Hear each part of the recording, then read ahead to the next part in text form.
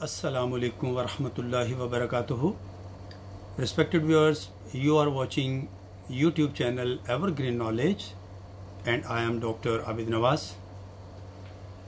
Respected viewers, I hope that uh, you have subscribed this channel already but if you did not subs- subscribe this channel yet please subscribe this channel before watching this video so that you could have all of my upcoming videos well in time. Respected viewers, we were talking about uh, some English proverbs, so let us proceed. Today, first one is better be envied than pitied. It is better to be envied than to be pitied and uh, according to Russell onlooker's notebook, her friend responded sympathetically, My dear, I'd much rather be envied than pitied. The next one is better be out of the world than out of the fashion. Women seem seldom hindered by lack of money when it is a case of follow my leader. Better be out of the world than out of the fashion.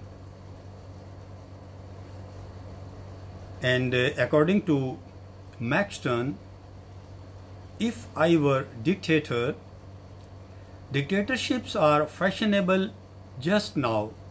There was there was an old time song which said, If you are out of the fashion, you had better leave the world.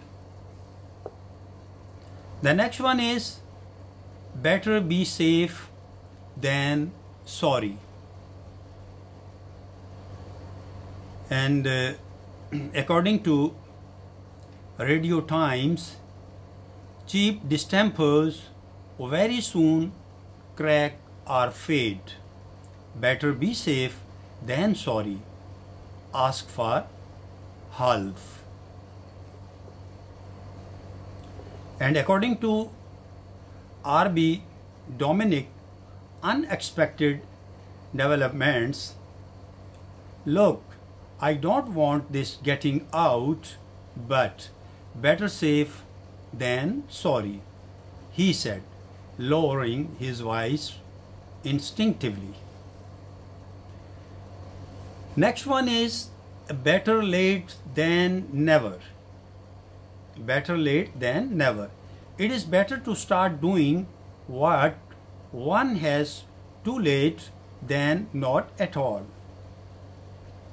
And according to the Heywood dialogue of uh, Proverbs, it is said, Things done cannot be undone, but better late than never to repent this.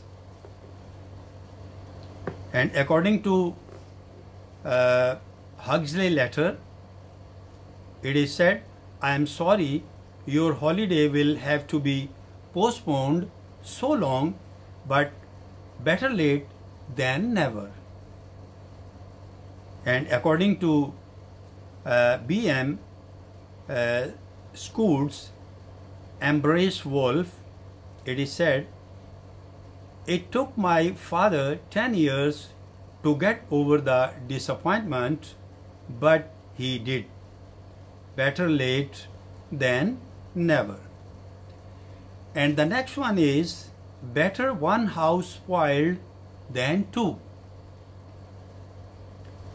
Said of two foolish or wicked people joined in marriage and troubling only themselves. And according to uh, the Ray English Proverbs, it is said, This we use when we hear of a bad Jack who had married as bad a Jill. And uh, according to folklore, it is used as better one house spoilt than two. Said when a, witless man marries a foolish woman. Next is the better the day, the better the deed. Frequently used to justify working on a Sunday or holy day. And according to uh, Streatfeild Circus is coming, it is used as it was Good Friday. As for the station to fetch that box. The better the day, the better the deed. And respected viewers, the next one is better the devil you know than the devil you don't know. And uh, according to Nota res mala optima, it is used as uh, an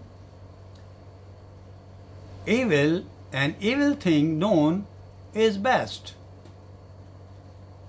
And uh, according to the old proverb, better is the evil known than the good which is yet to know. The next one is uh, it is better to be born lucky than rich. And according to uh, Clarke,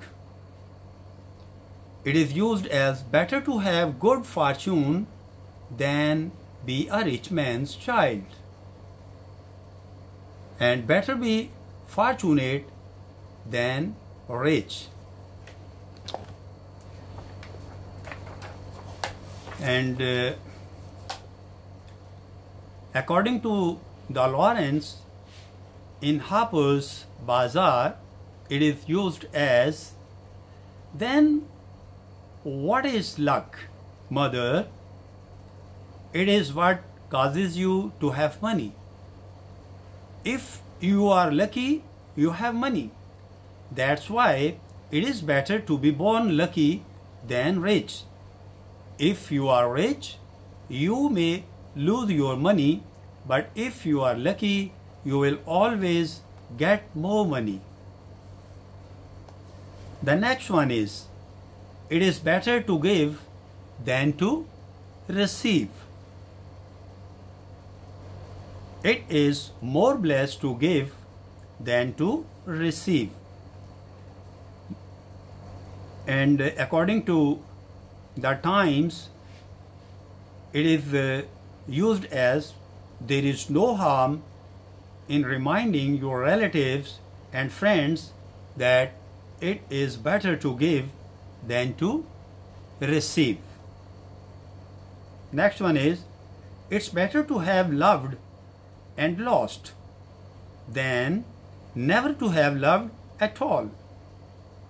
According to Congreve way of world, it is used as say what you will, it's better to be left than never to have loved, and better to love amiss than nothing to have loved.